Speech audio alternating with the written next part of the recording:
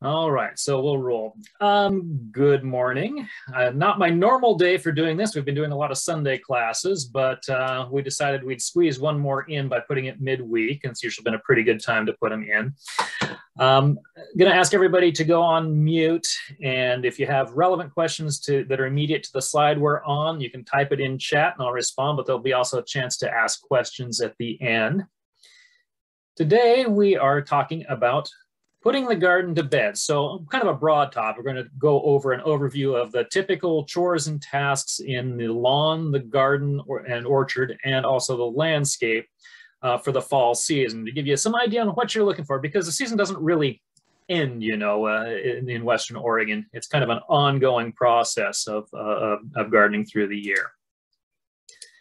So when we talk about fall in Western Oregon. And thankfully, we're feeling almost fall-like now with our cool mornings and the chance of some rain coming in the next few days and long awaited. We're way overdue for some.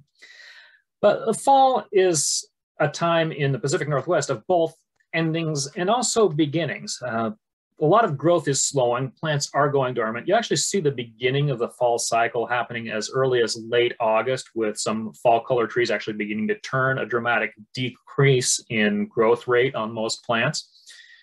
Um, also, we're harvesting out the end of the vegetable garden and fall, of course, is the peak harvest for a lot of our, of our orchard crops, uh, apples and pears and even prunes and such. So those are kind of some endings that are happening now but it's also uh, a season of beginnings. So with a Mediterranean climate pattern like we have here, um, the fall rains come in and after three or four months uh, or sometimes more of very dry weather, this initiates the growth for plants that are cool tolerant but need the moisture, things that go that do the process we call estivation, um, going summer dormant rather than hibernation, going winter dormant. Um, lawn is, of course, lawn and turf is, of course, the biggest single item in that category as if you're not watering your lawn heavily over the summer, it is brown and it starts growing in the fall. It's the beginning. So we can say fall is spring for your turf.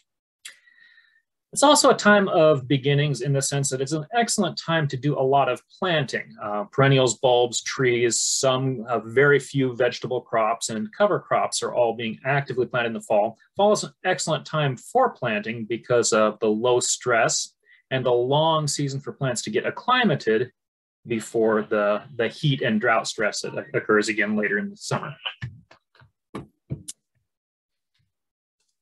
So we're going to kind of go through the broad categories and talk about what's going on. I'm going to start off with lawns.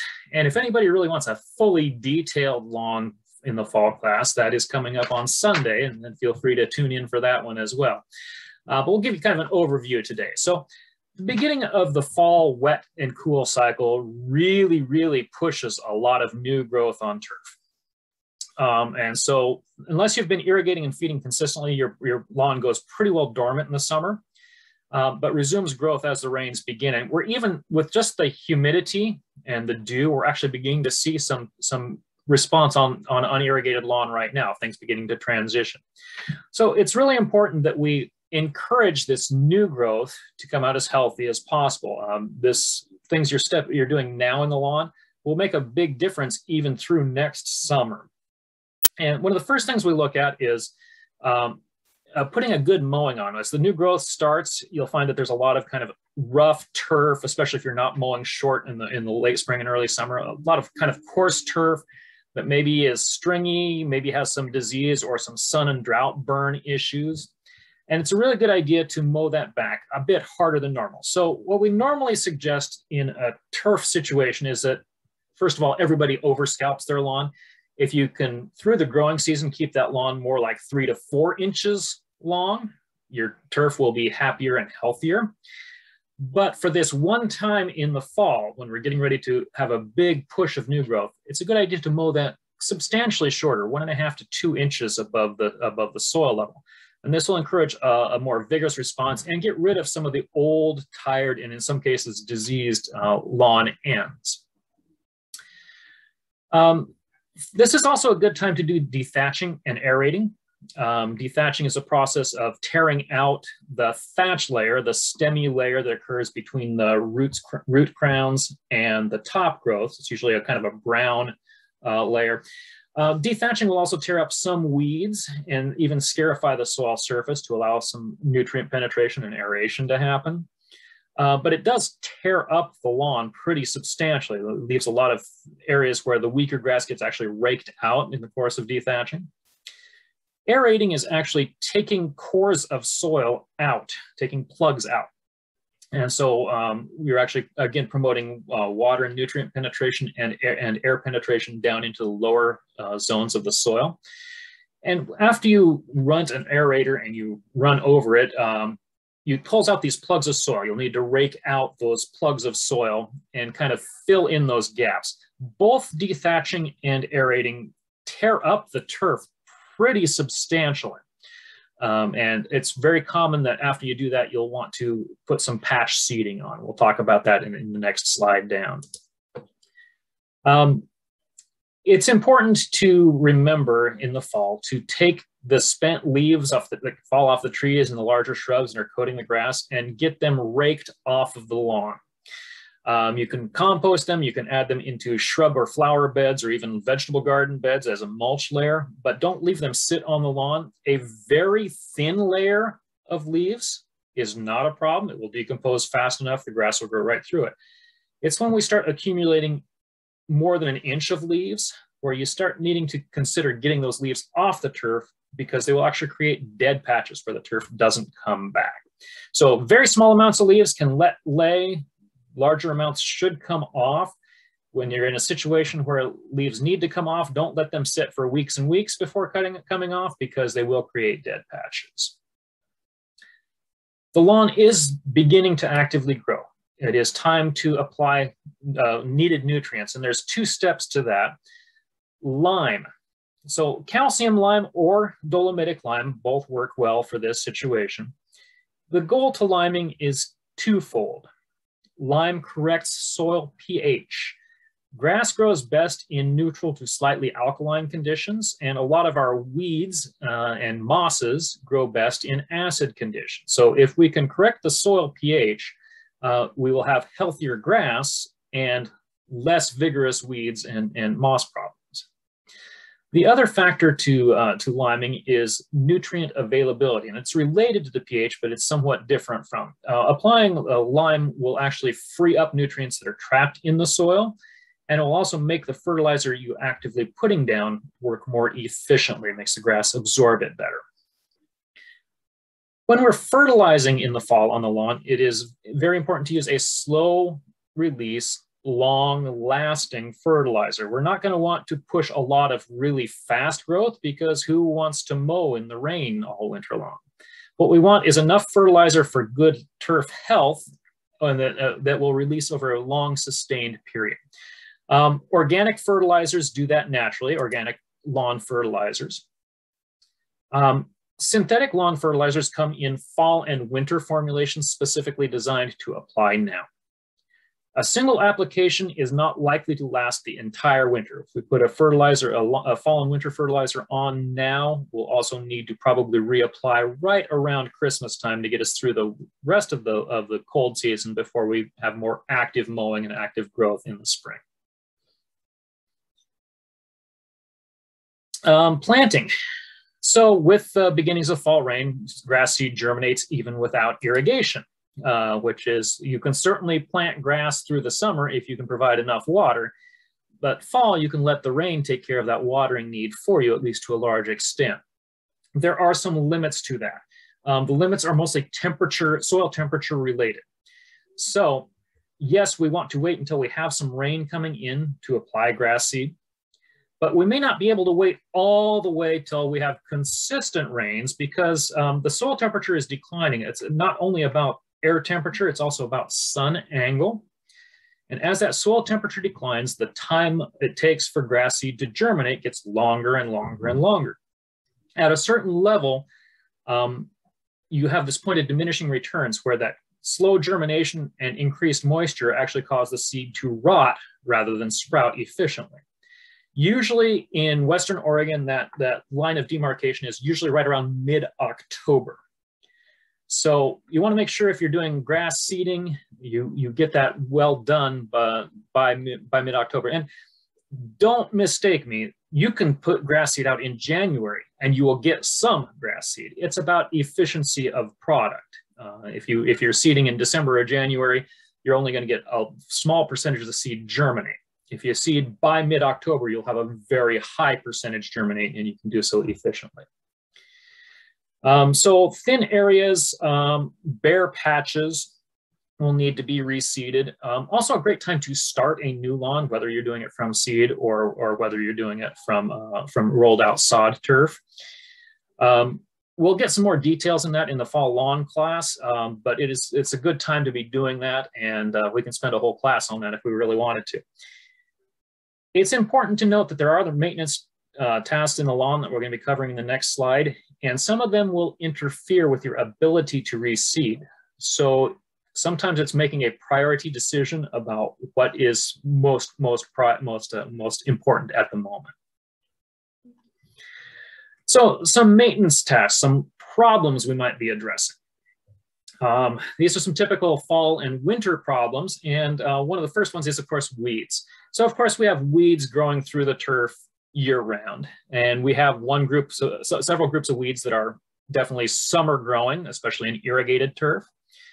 But there's, like, like with the turf itself, there's a whole batch of weeds that start germinating actively uh, as our cool weather develops and we get some more moisture in. So you're going to have to control existing weeds um, as they're occurring and also newly sprouting weeds. Existing weeds can be controlled by hand removal when they're not too bad, uh, physical dig out, um, or they can be controlled with herbicides.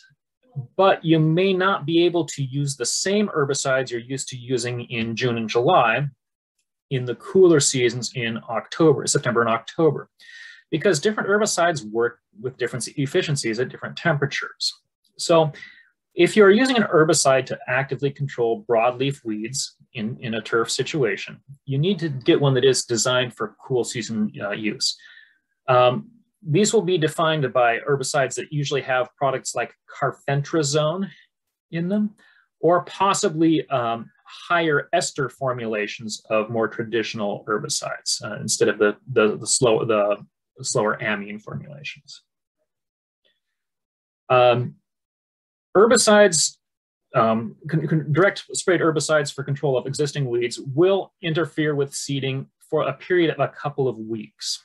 So you normally will deal with the weeds first and then come through in about three weeks and do any seeding that needs to happen. Um, but we can also prevent weeds from sprouting. So a lot of them are actively starting to sprout now, will sprout over the winter and into early spring. And a valuable strategy is to use pre-emergent herbicides, granular usually herbicides that you put down that stop the seed from germinating. Uh, this is particularly effective for control of things like crabgrass that are very difficult to control with spray herbicides. The drawback to using pre-emergence is your newly seeded lawn or patch seeded lawn, you can't apply these pre-emergence for several weeks after seeding. It's usually four to six weeks after seeding. On the other hand, if you put the pre-emergent down first, you pretty much are uh, eliminating your chance of doing any additional reseeding for this entire season. It's several months of residual control. So if you are going to be using pre-emergence, you need to, to have as much patching uh, as you're going to do done, as much seeding as you're going to do done, and still have, uh, have time to get that pre-emergent out. This is not a disaster, even if you're getting some weeds up. Uh, if you get focus on getting that seeding done and then have that interval, that roughly four week interval, and then put down your pre-emergent, you're still going to control at least some of the weeds that you would have otherwise had over the winter. But make sure you're well aware of those intervals. Different pre-emergents have different intervals, so read the labels carefully to make sure you understand. Moss control is kind of a similar situation. If you have a lot of active moss, you're going to need to get rid of the moss before you seed because it's going to inhibit good development. Um, the products we use to control existing moss are primarily iron containing, fairly high concentrations of anhydrous uh, iron sulfate. And they do a really good job of, of killing moss without killing uh, the grass, but they also inhibit seed germination and root development a little bit. So you can't go through and do a quick moss kill and then come back in a few days and reseed. You need to have that moss control product out on, on the ground. Um, then you need to take the time to actually rake out the dead and dying moss. And we will often do this in conjunction with like a dethatching. So put a moss control out and then dethatch. And then about three weeks after, you can safely seed. Um, you can reduce the reincidence of moss by liming, as we discussed a moment ago, um, because good liming and good fertilization practices reduce moss development. Mowing higher through the summer, setting your mower to the highest possible setting, getting a, around three inches or more of, of grass up, uh, is definitely beneficial in terms of reducing moss. It also reduces weeds to some extent. A question on the on the chat: Should we apply lime and fertilizer before or after seeding? Generally speaking, we will lime and fertilize either at the same time we're seeding or shortly before seeding. Um, if you're using synthetic fertilizers, generally speaking, I would like you to have a little interval between the application of the fertilizer and then seeding, um, just a couple of weeks, or use a lighter than recommended dose. If you're using the organic fertilizers, you can do them literally same day. So um, unless you're using a starter fertilizer specifically designed, like you're starting a brand new lawn specifically designed for starting a lawn, you can do that the same time you seed, and those are, those are synthetic. You can do uh, organic fertilizer the same time you're seeding, usually same day, lime, then fertilize, then seed in that order. Um, if you're using a traditional fall and winter, use it about half strength if you are planning on seeding right away within the next day or two. Um, one of the things about moss that I want to bring up is the consideration of the bigger picture. You can make grass grow in almost any situation briefly. Getting grass to be effective and healthy over the long term means that there are sites that work well and there are sites that don't. If you have a site that you are chronically fighting moss problems in, you may be in a situation that is really not best suited to lawn. Uh, really dense shade, high acidic environments, environments that are in the shadow pattern of buildings over the winter, like where your where your two-story house shades out a section of the of the turf. You're going to fight that and fight that and fight that. Yes, you can have good summer turf out there if you work at it, but you may have to redo it literally every year in those situations. So if you're seeing a lot of moss problems, a lot of bare spots, consider if this problem may be the site and you may, may be better served to, to use a different plant than, than turf for that area. Um, a lot of bug problems can occur in turf. Most of them are fairly minor here. Crane fly is not. Um, the European crane fly is a, quite a disaster of a pest. Um, they lay, they're high density, high population density pests. They lay lots of eggs. Those eggs hatch in the summer to fall. Those larvae spend the entire fall and winter eating the roots out of the grass. And then suddenly in the spring, you have what you see in, in that top picture there, a literally bare patches where all the grass is dead because all the roots are gone. Um, so they're difficult insect control not only because the sheer volume of pest and the damage they can do, but because they, their behavior is stretched out over a long season. The, uh, the grubs mature into their adult stage in the late spring, mid to late spring. Those adults are out flying, mating, and begin egg laying as early as maybe late May, but will lay eggs over quite a staggered period of the, of the summer. Then those eggs, laid at different times, hatch at different times over a very long period of summer to fall. So putting a one-time through liquid insecticide or a really quick releasing granular insecticide does a pretty good job of killing some, but to get really good control of crane fly, you need an insecticide that will release over a very long period of time so you catch multiple generation, multiple hatches of this, uh, the pest. So typically this means using granular uh, insecticides with a systemic component. Um, um, there's, a, there's a number of brands of grub control and, uh, and specifically designed for that. Um, you want to make sure you're getting a product that has at least an eight week residual and preferably a three to four month residual um, because the hatch period is that long. By the time you hit spring and you see this kind of damage like you see in the picture there, um, there's not that many crane flies left. You can follow up with a quick insecticide to make sure you've got what is remaining under control. But really, the time to treat crane fly is not in the spring. It is now. It's August, September. Get a long-lasting granular insecticide out. Now, strategies for crane fly control besides just killing. First of all, a crane fly tends to lay and have most success rate in soils that are relatively damp. So improving drainage often substantially reduces crane fly populations. Secondly, um, if you can, again, keep your turf higher in the summer, um, their ovipositor is only so long and they don't necessarily crawl through the grass down to soil to lay eggs. They tend to kind of spread them willy-nilly across the, across the grass stems. So if you can have a little bit longer turf, fewer of those eggs make it down to soil surface and develop normally. And that will reduce your crane fly population. The combination of good drainage, proper fertilization, and, and, and decent mowing can go a long way to eliminating crane fly problems.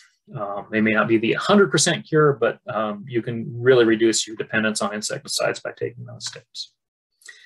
Diseases are more complicated. Turf is subject to a variety of diseases, a very large variety of diseases, like most monoculture plantings are that are high density.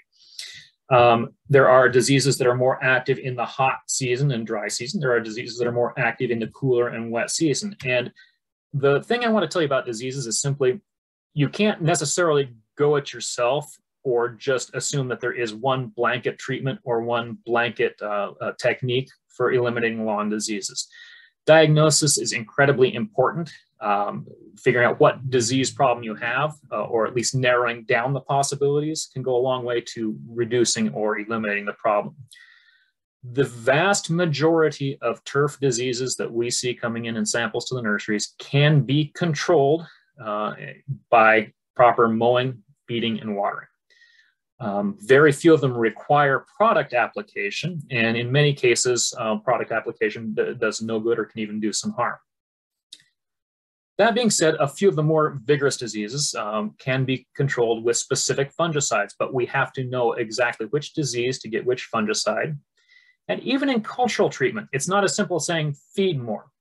Some diseases are more prevalent on grass that is growing really rapidly in cool season.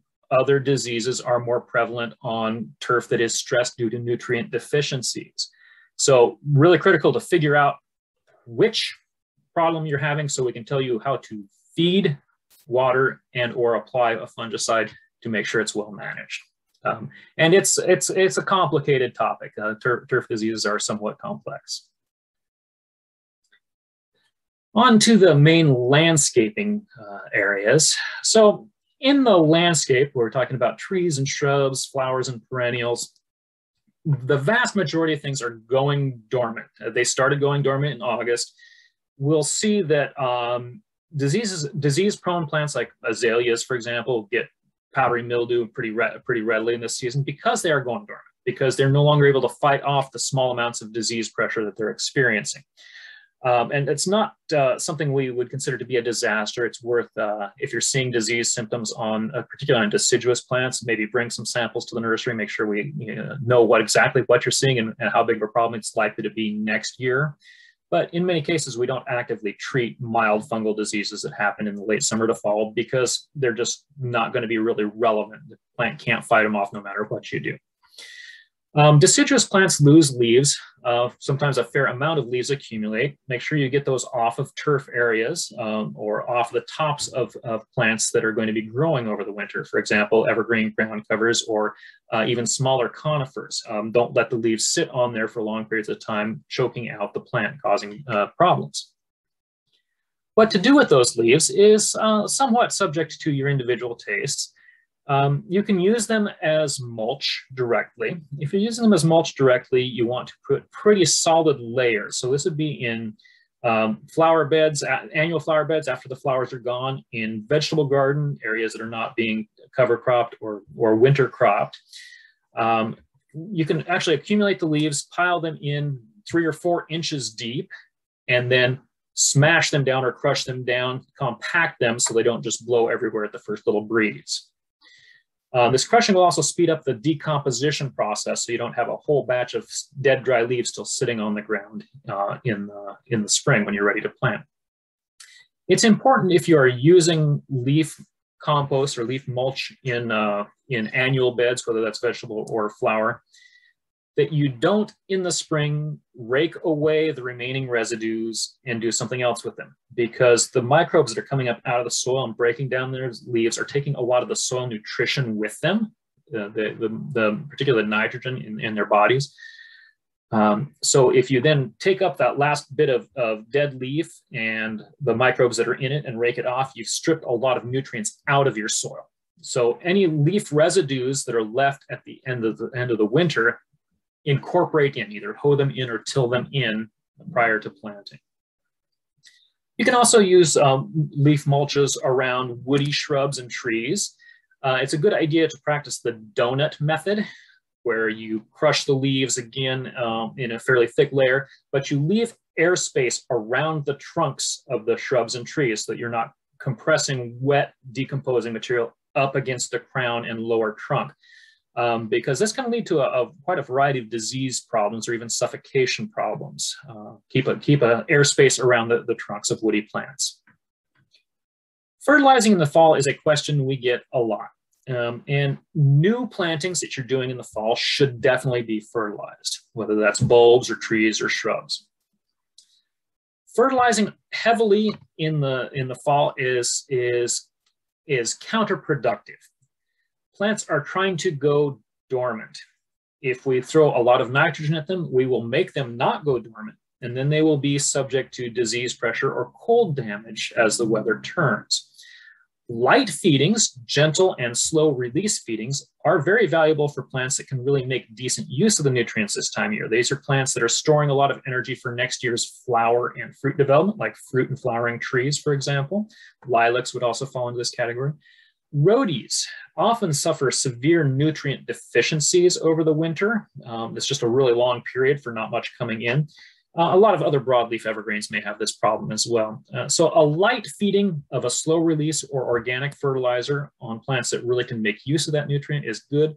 Willy-nilly feeding all your shrubs because they're there in the fall is not beneficial. Perennials obviously mostly go dormant and don't need any fertilization in the fall either.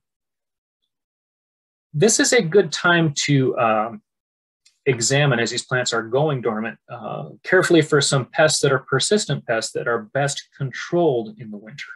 Um, this particularly includes mites, uh, western spider mite, our dominant one here, mealybugs, and scale insects. Also, the new pest on rhodies and azaleas, the new lace bug, is a, it winters over. So determine if you're having any of these insect pest problems, consult a nursery professional if you need some assistance with that. And if you are seeing mealybug populations, mite populations, scale populations, lace bugs, there are specific treatments that can be applied during the dormant winter season that can dramatically reduce these pests. And it applies to both evergreen plants and deciduous plants.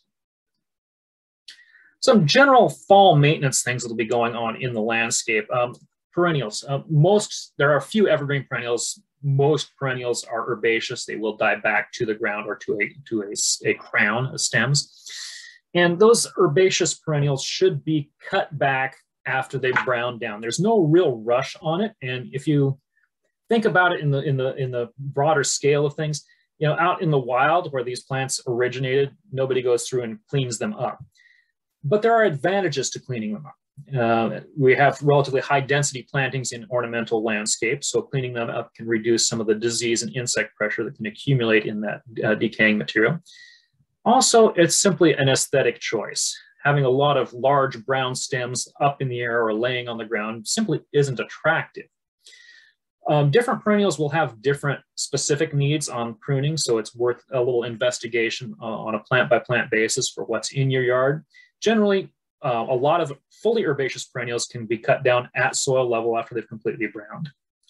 A few actually keep some degree of semi-woody or erect stems. Uh, a good example of this would be penstemons.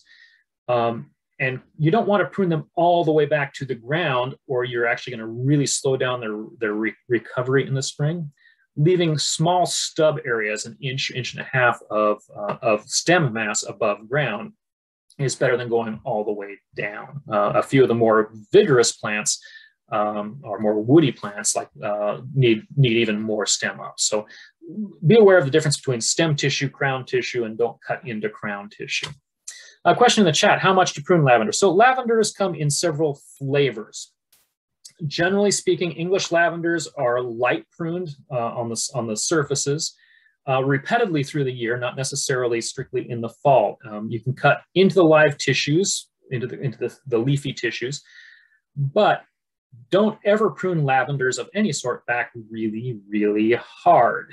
What happens as lavenders age is the center crown and the woody stems out of the middle um, lose the ability to initiate new growth, just like heathers do. Um, so you have to prune lightly and frequently to control lavenders rather than letting them grow and grow and grow and then pruning them back hard in the fall. English are the most tolerant, French and particularly Spanish are much less tolerant of, of pruning. As with turf situations, weed control is relevant in the, in the ornamental landscape. And again, we have active control of weeds uh, and then pre-emergent control of weeds. Um, broadleaf selective herbicides are much less frequently used in ornamental landscape in, in deference to less selective and more contact-based herbicides like, like glyphosate. Um, and glyphosate and even some of the vinegar and acetic acid type uh, uh, non-selective uh, herbicides do work in cooler temperatures. They are significantly slower acting and they don't work later into the season as some of the weeds go through a dormant phase too. If the weeds are browning down or changing substantial color, you may not get good control anymore. Most of them are, um, are foliar absorbed. Question in chat, Heather with heat damage. Uh, question is to prune or wait and see what happens. So the answer to that question is it depends. Heather is a big topic. We have winter heathers or heaths. We have callunas, the, the true or scotch heathers, um, and they're just finishing blooming. And in between the two, in the early summer, we have Daboecias, the Irish bell heathers, and all of them prune somewhat differently. Irish bell heather, whack away. Um, even if you prune them relatively hard, they will resurge pretty, pretty readily.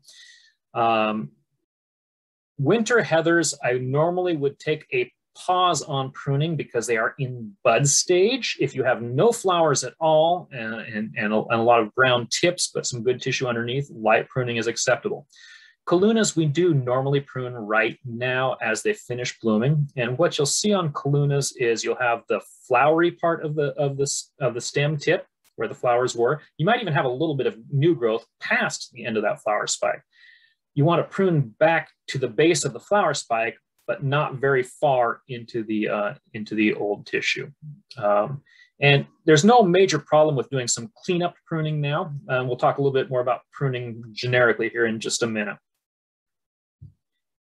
Um, pre-emergence are just like turf pre-emergence, sometimes some different products used. Um, again, if you are doing active planting, it is important you get your active planting done and then apply it pre-emergent. Unlike with grass, unless you are doing something by seed for some reason at this point in time, for example, native wildflowers, you can do the pre-emergent right after, immediately after you're, you're done planting. So with bulbs and with woody plants, um, you get the planting done, then you come over the top of it with a pre-emergent for weed suppression, and that's, that's a fine approach. I say that advisedly. Not all pre-emergents are equal. Um, Casoron, you have to be extraordinarily careful with uh, preen, trifluralin, um, or dimension are much less picky as long as you've got the planting done. What you don't want to do is you don't want to get those herbicide granules down into the root zone by turning the soil and planting. Mulching, we talked about mulching as leaf mulch, but there's certainly other products you can use for mulch. Mulch is the uh, generic and organic way of pre-emergent control and simply burying the weed seed enough that they don't germinate. So mulching is not a bad idea at all in the fall. You get a little bit more mileage out of mulching in the spring because it works as a moisture conservation. Some people do some of both. The same basic rules apply for bark mulches and compost mulches as do for leaf mulches. Substantial layers are valuable. Um, be expecting that anything that is still decomposing, like wood chips or bark or dead leaves, are going to take a certain amount of nutrients out of the soil briefly while the microbes are breaking them down. If you let that process finish, the microbes die off, return those nutrients to the soil, that's great. What often happens with mulching is we mulch and then we mulch and then we mulch and we never really finish a decomposition cycle back down to a dirt level. And so we keep tying more and more nutrients up in biology and not available to the plants.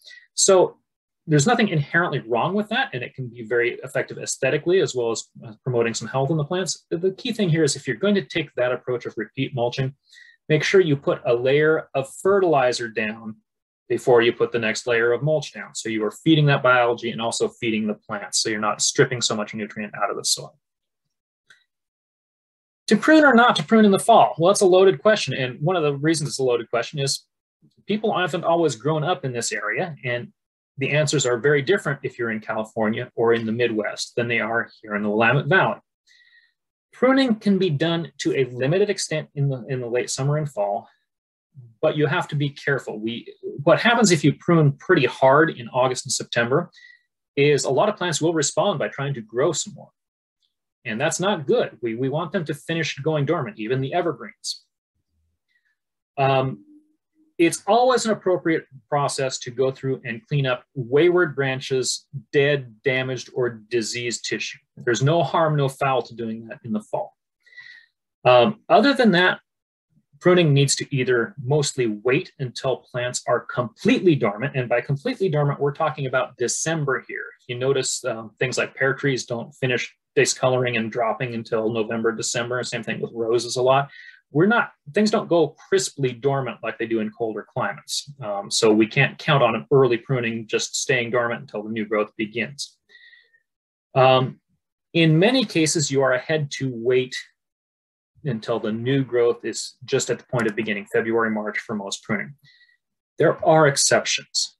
Uh, the big exceptions are plants that tend to bleed heavily on the new growth if the, if the cuts are fresh. Um, particularly of note there, um, magnolias have a tendency to bleed, walnuts bleed, maples, particularly Japanese maples, bleed. I would like to see you do your pruning on those sensitive plants in the late summer, maybe as late as early fall, September. If you wait until late October, you're doing the same thing as dormant pruning, and they're likely to have at least some bleed as the new growth pushes uh, the next spring. Um, so Judicious pruning is okay. Don't get carried away. Fall is one of the worst times to do large scale pruning on most plants.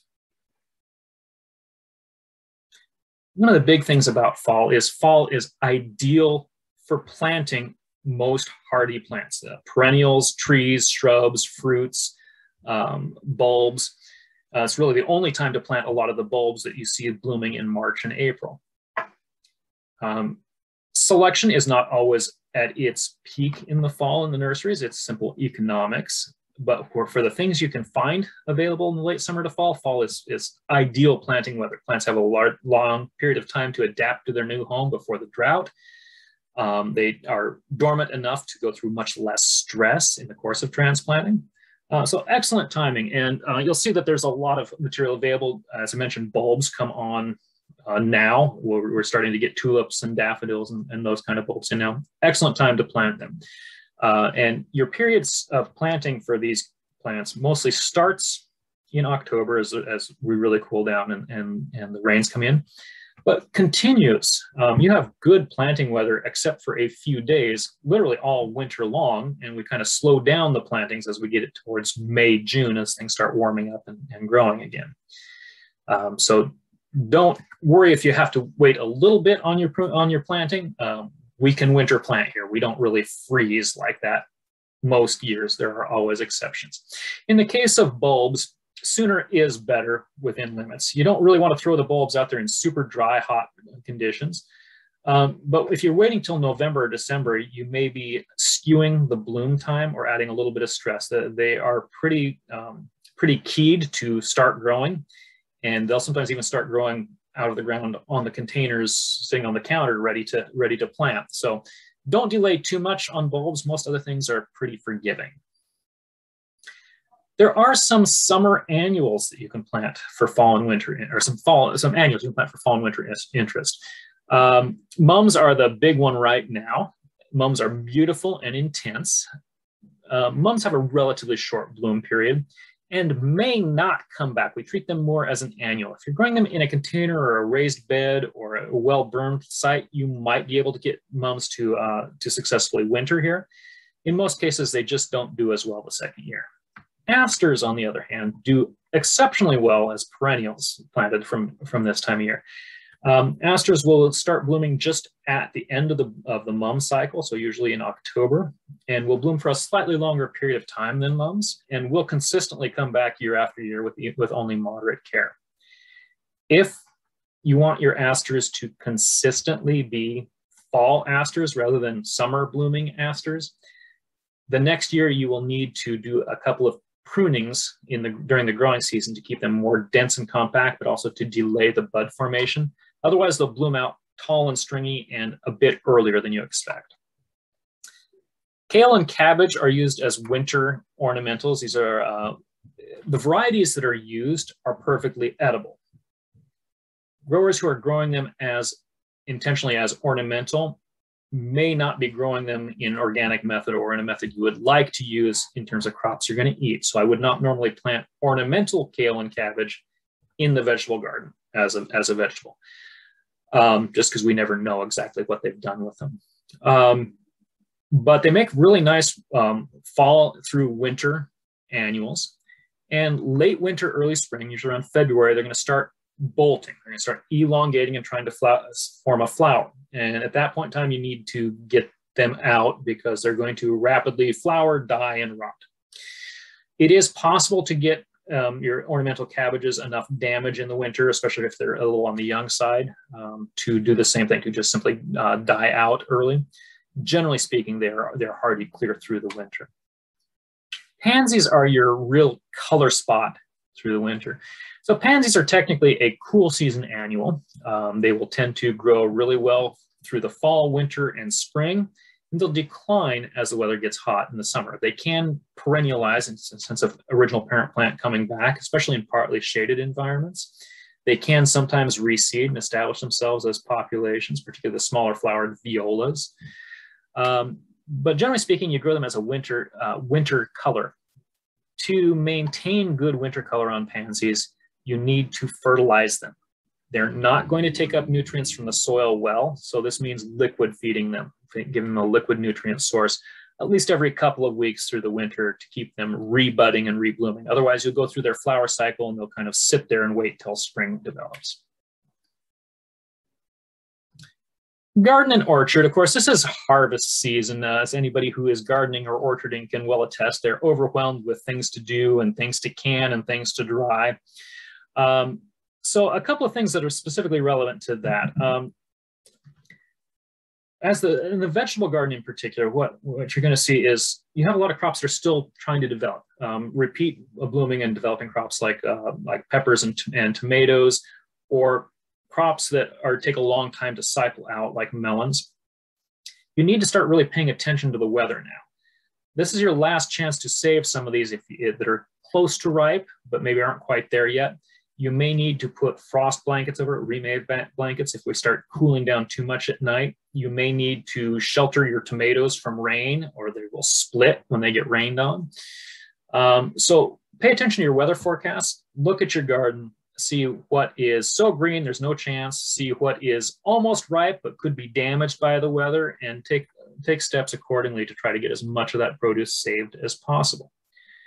Most of your uh, main fruit trees, as opposed to smaller fruit berries, um, are harvested in the fall as well. Um, we get plums uh, in September, act, ahead of normal this year. Our, our prune plums are, are, well out already. Um, apples and pears. Later in the cycle, you'll get quinces, um, and eventually in the late fall to early winter, persimmons. Um, it's just a, an ongoing process of harvesting and preserving. So understand the crop learn the ripening cues so you're picking them at the right stage learn which ones can be early ripened and then storage early harvested and then storage ripened like winter pears um, and and figure out how you're going to preserve them or store them uh, to make good use of them because the, the problem with tree fruits is you have too much all at once. Back to the vegetable garden for a moment, sweet potatoes. So most crops, we try to beat the weather and get out uh, as best we can. Um, there's a tendency to think of sweet potatoes as a very delicate crop, um, and it can be, but you will get the maximum yield out of your sweet potatoes by leaving them in the ground as late as humanly possible. So watch your weather again when we're getting a little bit of light rain is a likely time to look into harvesting. We may not have enough rain out of this front that's coming in this weekend to matter because the plants are going to continue growing. We're not quite dormant yet. If we were having an inch and a half of rain coming in three days in October, I'd say go dig. Um, so it's a balancing act. Um, you can let sweet potatoes stay out through maybe a light frost. What you want to do is you want to get your sweet potatoes out of the ground before they either take so much frost damage, you start getting damage on the tips of the tubers, or before we get so much rain that we're concerned about softening and rotting the tubers. You need to get your sweet potatoes out of the ground and cured over, it takes about three weeks from digging to eating, uh, cured at warm temperatures. So in the orchard, we talk about getting the harvest out, but there's always stuff that doesn't harvest out for one reason or other, things that dropped late, things that dropped too early and got damaged, and we just let, left lay on the ground. It's very valuable to clean up those crop residues.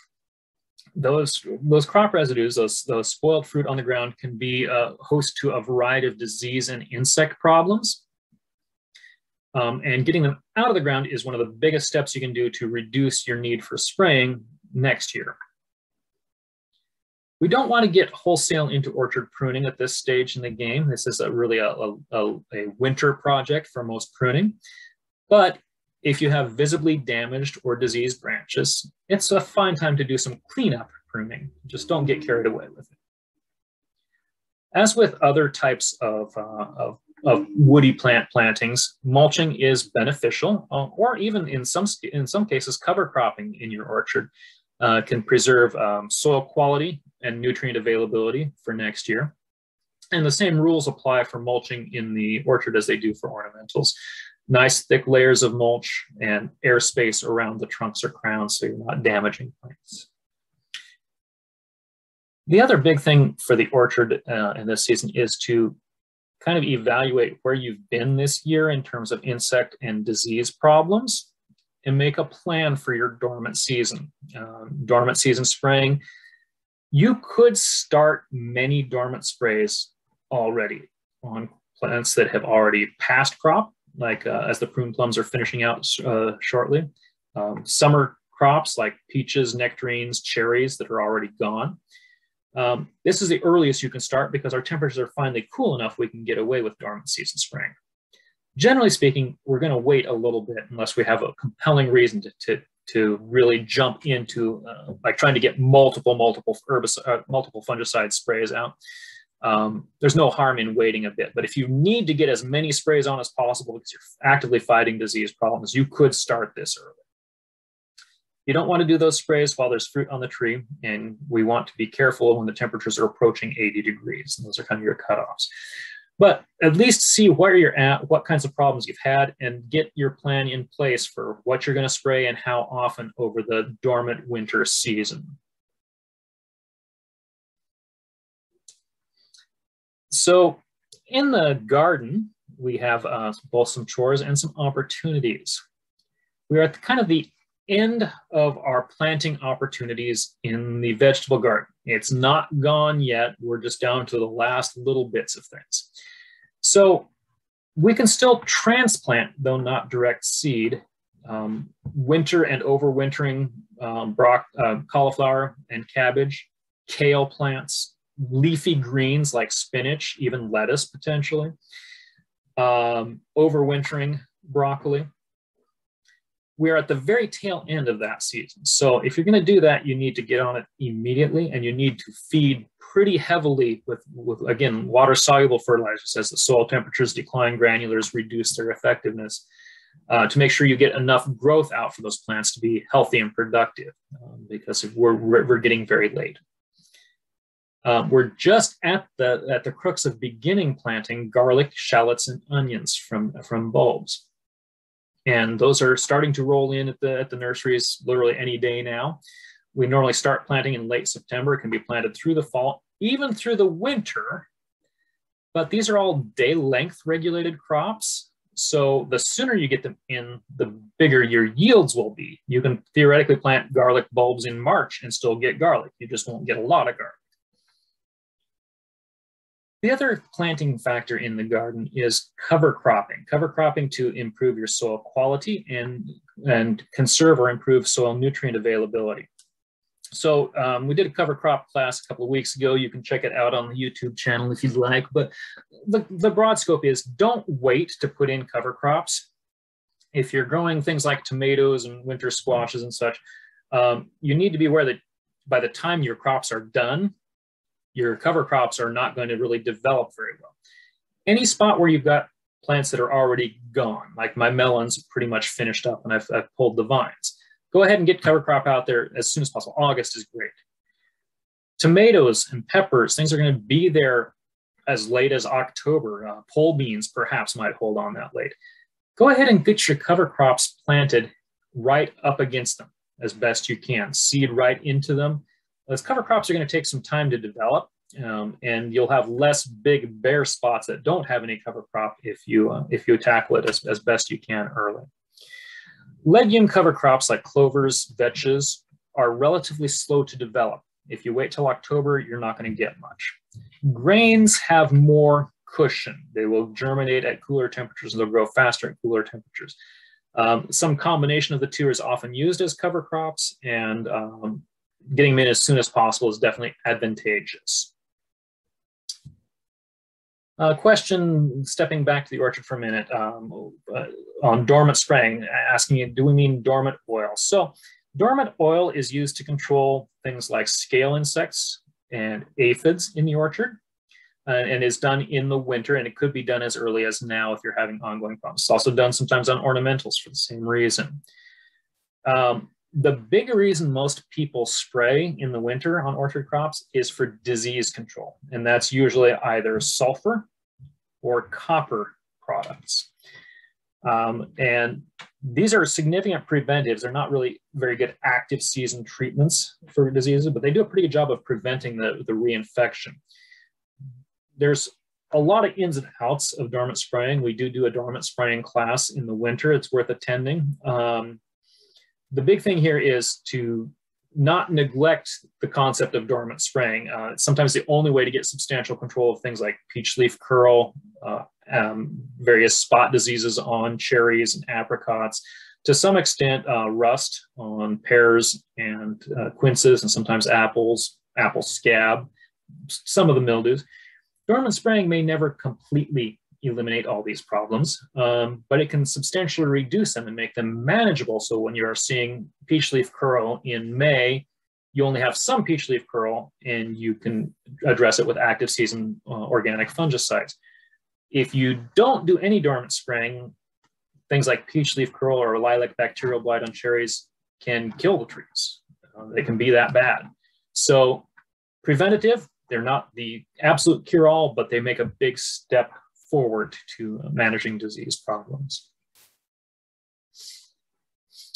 Uh, other chores in the garden, and one that often gets neglected by, by, especially by newer gardeners, crop rotations. It's a really good idea to either take some pictures or make some notes of what was planted where. You think you'll remember in May, but you might not uh, especially if you follow irregular planting layouts like I do, uh, not, not planting everything in blocks and rows. So we want to make sure you don't plant the same plants or very closely related plants in the same soil season after season because you build up insect and disease problems. And that's the concept of crop rotation. So knowing that you had tomatoes in this corner of the raised bed this year means you shouldn't plant potatoes or tomatoes or peppers or eggplant there next year. You should do something unrelated, a leaf crop or a legume uh, or a cole crop. Um, and you've practiced that crop rotation on an ongoing basis. It will, it will reduce a lot of very serious problems uh, in your vegetable gardening. Uh, think of the potato famine uh, in Ireland. You know, they planted potatoes in the same soil year after year after year, and they got away with it for a while And then when they didn't, it was a truly disaster level failure. The same thing can happen on a smaller scale in your vegetable garden. So practice good rot crop rotations. Another way to substantially reduce uh, disease and insect pressure is to make sure you're getting rid of all those fallen rot, half rotted tomatoes, the zucchini that got too large that you just cut and abandoned. Um, also the plants as they finish out. And my melon crop is done. I went and pulled all the vines. Um, most of these crop debris and dead plants can be composted yourself if you're using hot compost methods. You're getting generating enough heat in your compost pile to sterilize.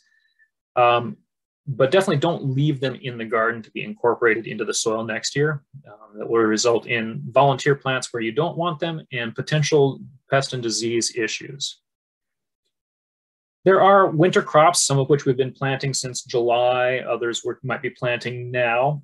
Um, and there are cover crops, but there's always the spots in the garden where you had crops too late to get a good cover crop take, or for any of a number of reasons you may not want to cover crop. And these are good candidates for mulching. We talked about using a leaf mulch, and there's nothing wrong with that. You can also use compost mulches.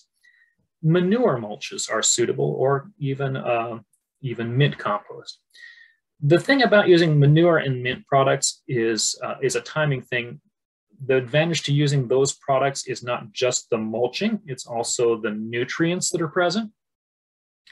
And to get good use of those, you want to make sure that you don't have all those nutrients released and dispersed and gone by the time you want to plant. So if you are manuring in the late summer or fall, or if you're putting mint compost on in late summer fall, you want fairly fresh product that's not substantially decomposed. It's going to finish its decomposition cycle over the winter, and those nutrients will be available for spring planting. On the other hand, if you do, do mulching or adding of manures or mint compost in the spring, it's very important that you use material that's already very well decomposed, or you're going to have allelopathy problems where the decomposition cycle interferes with the growth of new, new plants going in, or simply too hot, too much nutrient available and actually burning the new plants going in.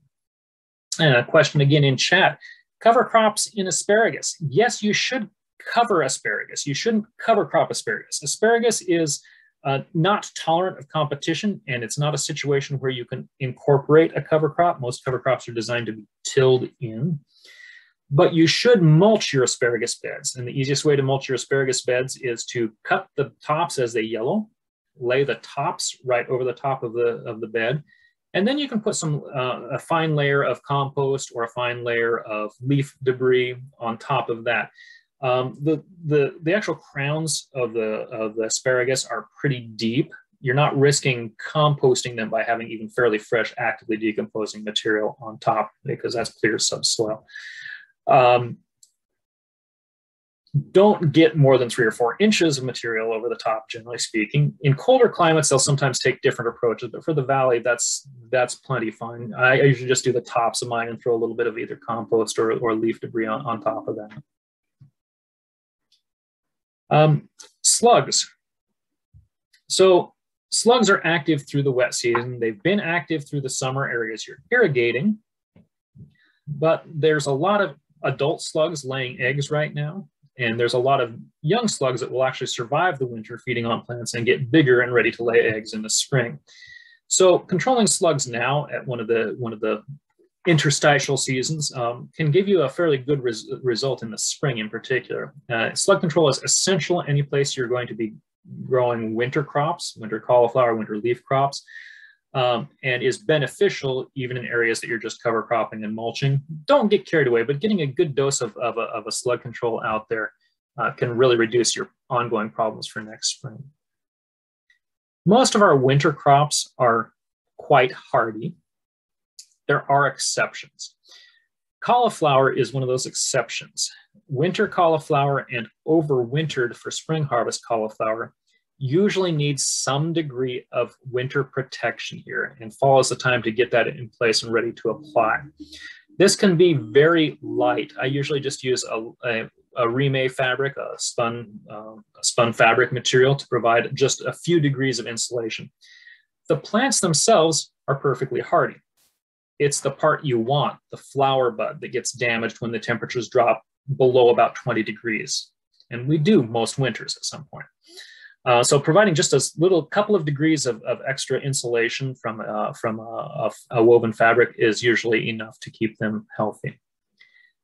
Um, many greens crops can be grown for fall into winter harvest or can be planted now for spring harvest. There's the, the cycle in there of late fall through the winter leaf crops that may need some protection to keep them growing fast enough to be worthwhile as a winter crop.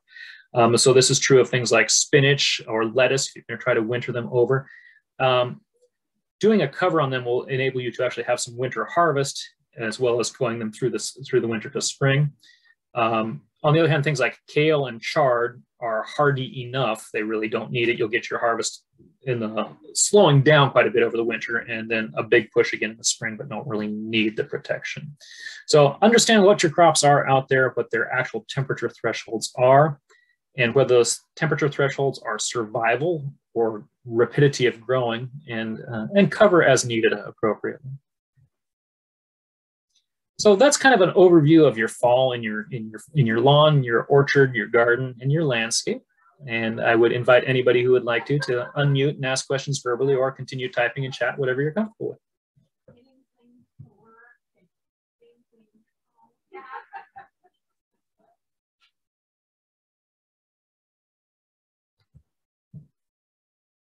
All right. Well, I will let everybody go for the day at this point, and uh, you guys know where to find me here at Shonnard's if you have any follow-up questions or, or any other gardening tips. Thank you very much.